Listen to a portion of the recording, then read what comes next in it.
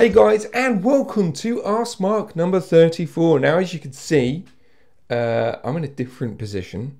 Obviously, the way that we edit these things, guys, in the previous couple of videos, and We. the way, I say at I, yeah, the way that I position things, like Mark's quite close up to the camera, and I'm like a mile back. So I've gone old school. I've gone in front of the camera, in front of the Mac. I can I can move my bench back. If No, it don't, don't, don't, because I've just.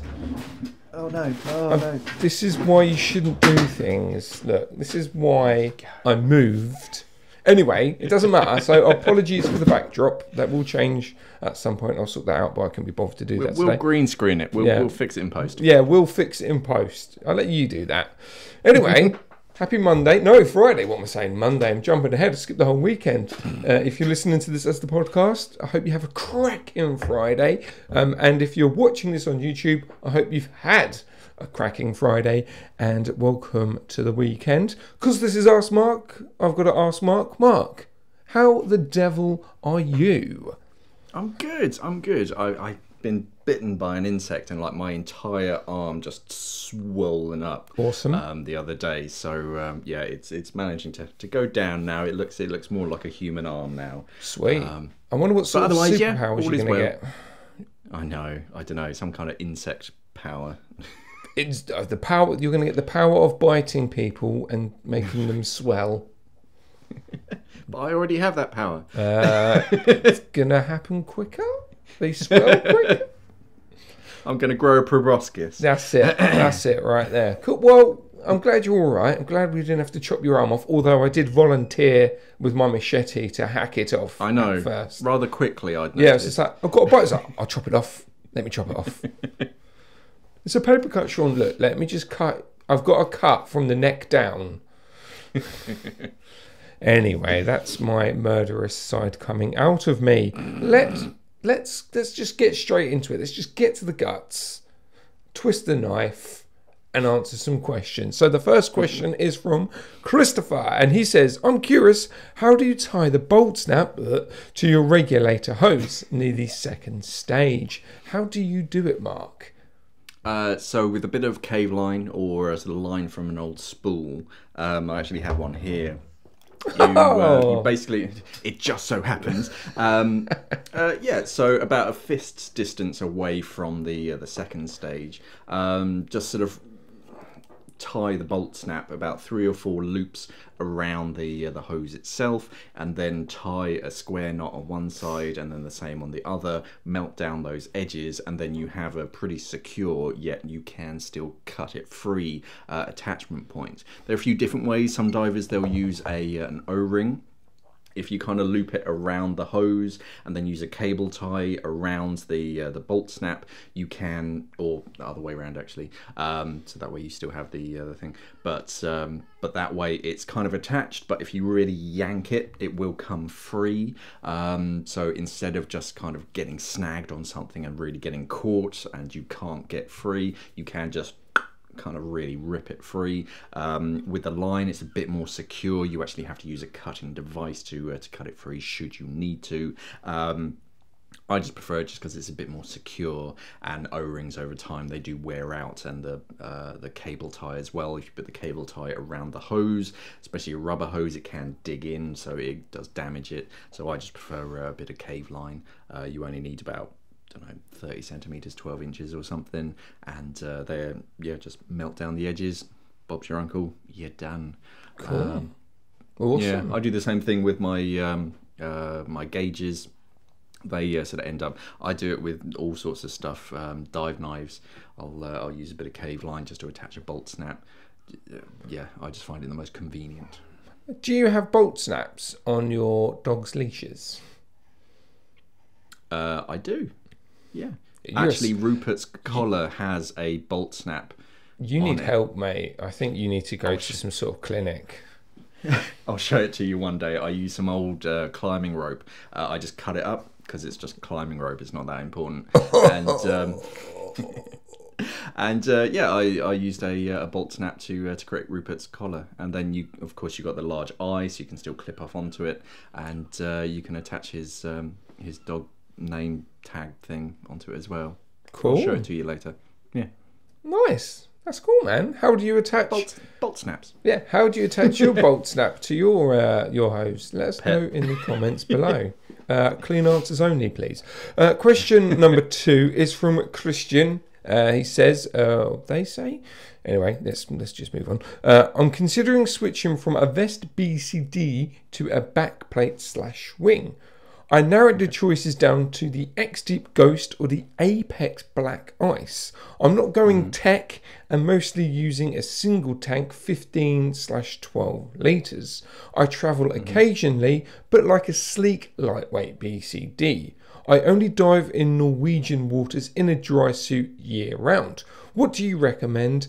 And does the Ghost have enough lift for winter diving? Yeah, um, yeah. I mean, both of those would be sort of perfectly fine. Instead of the Ghost, I'd probably look at the Zen. Um, the Ghost is a single shell bladder, so it's only one piece of material.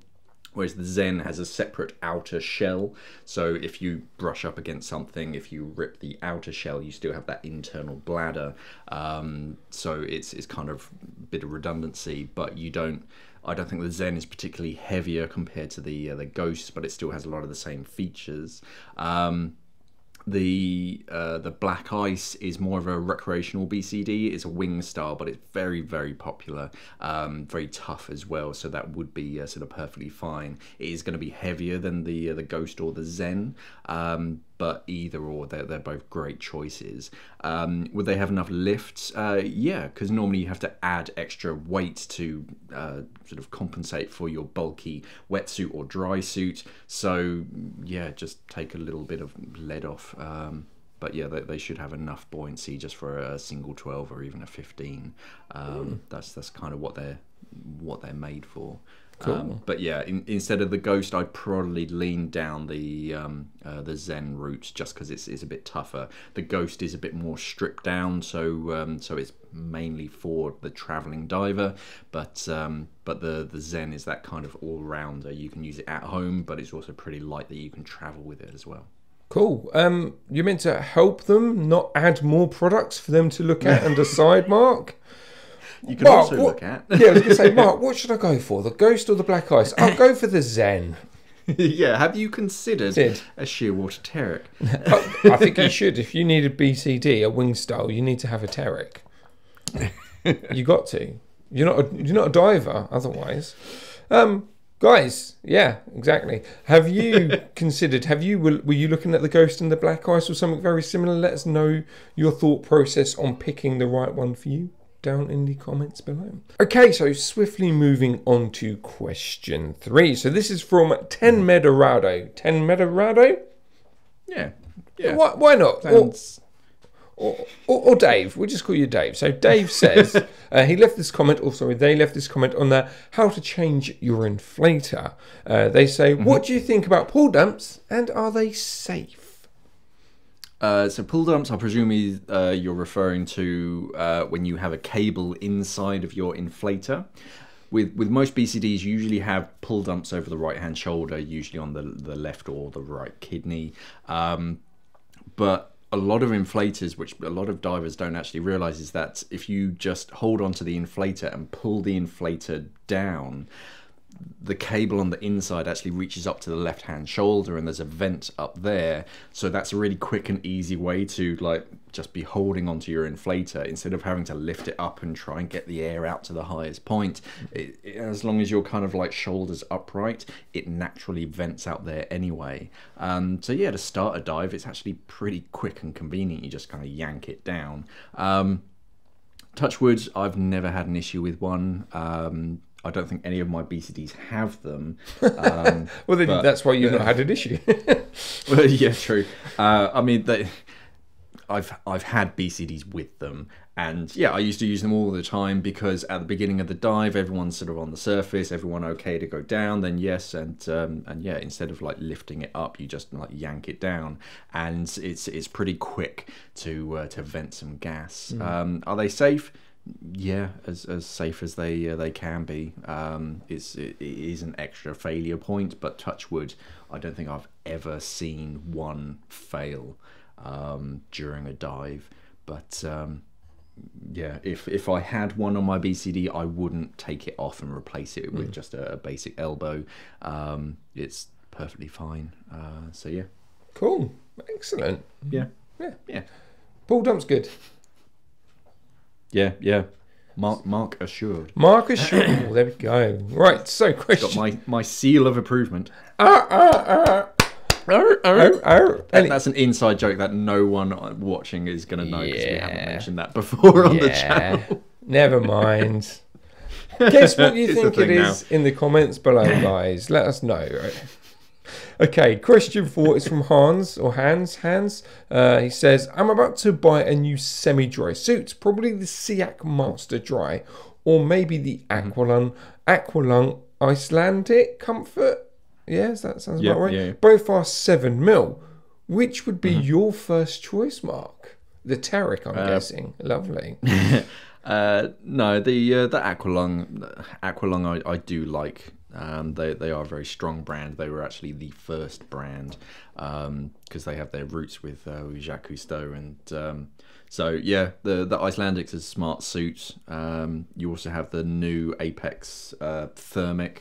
Uh, that's very nice, very eco-friendly as well. Um, but yeah, Seac Master Dry um, used to uh, sort of sell lots of those. They are very popular, um, semi-dry. So yeah, just sort of have a look if you can have a feel of them because you can kind of feel the the quality of different uh, sort of neoprenes. Uh, but Aqualung always make good stuff. Not saying that Seac makes bad stuff. It's just yeah, Aqualung are usually a bit more of a premium brand. Yeah, next stage. Um, is there anything else that you would consider? Uh, Something yeah, the new Apeks one. Yeah, the Apeks one is uh, is smart. I, I've tried them and they are warm but very flexible as well, um, and eco friendly. And it comes with a changing mat and all this kind of stuff. It's it's one of those things where it's just a gift that keeps on giving. Um, Sweet. any others? Uh, I like putting tend you on the spot. on to- It's good. I know I tend to just move on to dry suits when it gets to uh, to semi dries. So yeah, it will be the um, just Buy a dry suit. There we go. So you want just, to just semi Aqualung. Aqualung? Get the aqualung, and you'll be happy. Yeah. All right. Yeah. Sweet. So question number five is from Joseph. Joseph Dracula. Mm. Mhm. he must have like written. I found out actually talking about vampires, the reason why um, they don't have they can't see themselves in mirrors is because when they used to make mirrors back in the day, they they there's like silver, silver. in inside it. Yeah. So because of that, and obviously they're silver. So if it was a modern mirror, vampires would be able to see themselves. There you go, guys. That is Sean's fact of the week. That's how vampires shave. Yeah. there you go, They can guys. see themselves in a mirror. Yeah, exactly. Right. Yeah, I love all that kind of the, the lore that sort of goes behind things, and you're like, oh yeah, back in the day, it used to be such and such. Uh, you're like, oh okay. And I also quite like the like the modern equivalency where um, oh, what was it in Blade where uh, they're saying how vampire blood it, it can't sustain hemoglobin or something, so that's why they have to consume blood, and you're like, oh, it's interesting. It, it's all make believe, obviously, hopefully. Hopefully. but um, yeah, it's, it's quite interesting. Yeah. Anyway, uh, yeah, Joseph. Joseph. Joseph says, uh, I'm looking to make my first personal purchase of a regulator. I have made the choice of the Scuba Pro Mark 25 Evo A700 dive regulator. Cool. I'm aware this is a bit pricey, but this model seems to be just plain good. Since COVID, it seems that people are more aware of it. Um, let's say I no longer want to rent but have my own gear. What do you think, or can you advise me? Yeah, that that was always the the this is the in joke of like renting gear, especially regulator. You you know who's spat in it, um, but post COVID, that that has a very sinister and kind of dark undertones to it, and like yeah, you don't really want to be. I mean. There are new guidelines, so all dive centres have to clean them properly. There With are fire. specific yeah yeah single use regulators you, you just use it and you burn it um, no we have special solutions and stuff that kills all the nasties but still yeah it is nice to get your own stuff um, mark 25 a700 wonderful regulator they call it the what is it the, the diamond of their range or something um, because they love how like shiny it is and uh, and how like unique because each each one, each second stage is ever so slightly different. Um, whereas like plastic body second stages, they tend to come off a production lot and they're pretty the same. But because it's marine grey brass and chrome plated and all that kind of stuff, every single one is ever so slightly different. Um, so they have to be assembled very specifically. And if it doesn't go together, then you have to get a special part and all that lovely regulator, uh, very smooth breathe, very tough as well. And Scuba Pro, you can get it serviced in most places around the world. Um, Mark 25, very high performance first stage. They actually use it on some submarines to equalize the uh, the pressure or regulate the pressure. Um, and yeah, five port swivel turret, so you have full range of um, sort of hose routing, and they got that sort of XTIS uh, coating, which is pretty cool. So it works in cold water as well. Um, yeah, yeah. Uh, they they obviously they got the black version and the the carbon black as well. Uh, if you want to save a little bit of weight or go um, sort of with this black PVD coating, um, but otherwise, yeah, I, it's it's a nice nice regulator. I'd be happy with it. Cool, excellent. So yeah, buy, buy, buy. Nice, do it. Mhm. It's worth. Yeah, by the sound of things, it's worth. It's worth the dollar, dollar. If you can afford it, and you know It's- you can afford to pay your bills nice. and eat, then Yeah, yeah. I think they first brought it out what seven years ago, maybe a bit more. Um, and yeah, it, it, it, they haven't needed to change it. So a lot of regulators you'll get sort of five or six years, and then they'll kind of change it. They make it a little bit different. Uh, but the A700, it just yeah, it's nice. It's a nice size cold water, warm water, you name it, and it's it's different. With a lot of pictures you see of divers in the water, if you kind of like masked out the logo, you'd probably struggle to define which uh, sort of second stage it was. Whereas the A700 is very definitive shape and style. So yeah, it's it's a cool second stage. Sweet. So, question number six is from Chris. He says, "Is there a way to estimate the lift capacity needed for a wing?" Uh, yeah, um, it's not fun. Uh, you, you literally have to itemize everything that you're diving with, work out its buoyancy, whether it's positively buoyant or negatively buoyant, uh, kind of put all of that into a spreadsheet, and then it will spit out a, uh number. What you could do is go to uh, your local sort of diving wherever it is and put on all the kits and with an empty cylinder kind of see how positive or negatively buoyant you are.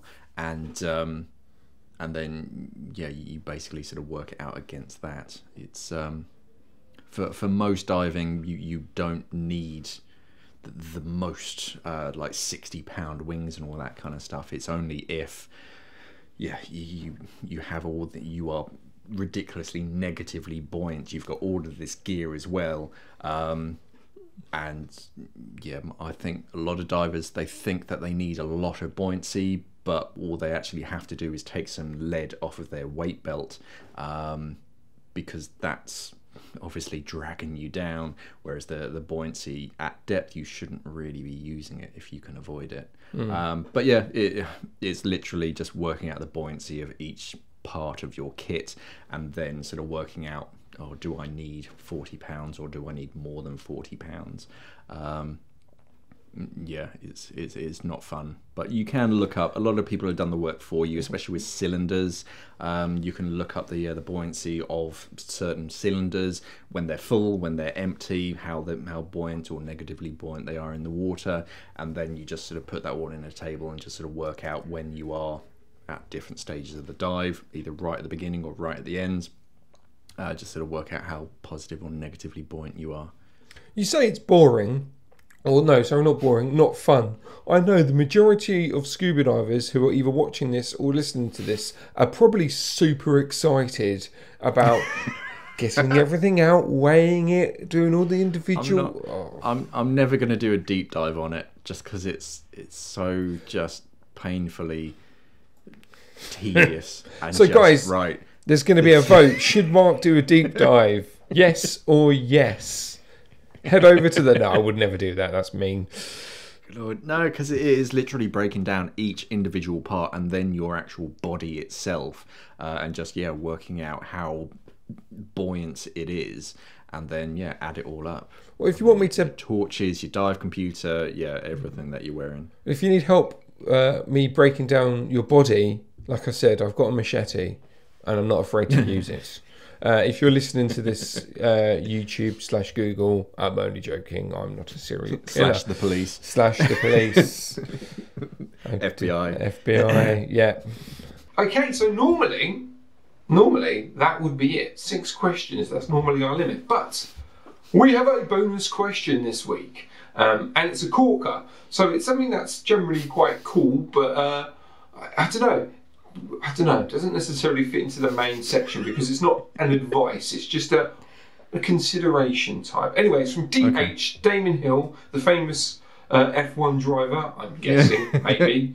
Uh, You never anyway, know. You never know. You never know. Anyway, they say, he says, them say, she says, whatever. Yeah, Um, Yep. if cost wasn't a consideration, would you go with Okay. either X Deep or Hollis or Dive Right or dot dot dot dot dot? So, Mark, if money wasn't a consideration, which brands would you buy for scuba diving? And also, I'm going to add on, which companies would you buy? Like, would you want to own if money was no Okay. consideration? So, I'm splitting up the question. Have at it. Have fun.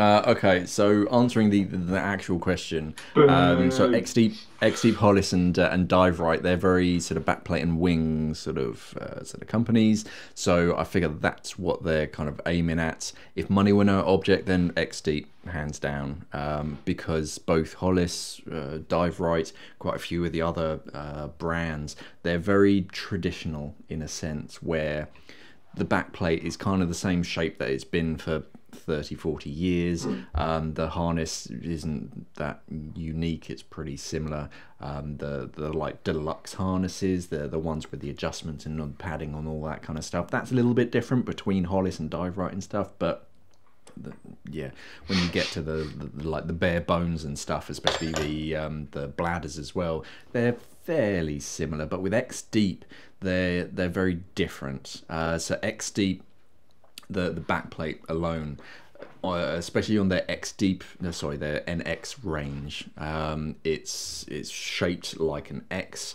Uh, it's, it's very unique, so it's much more ergonomic.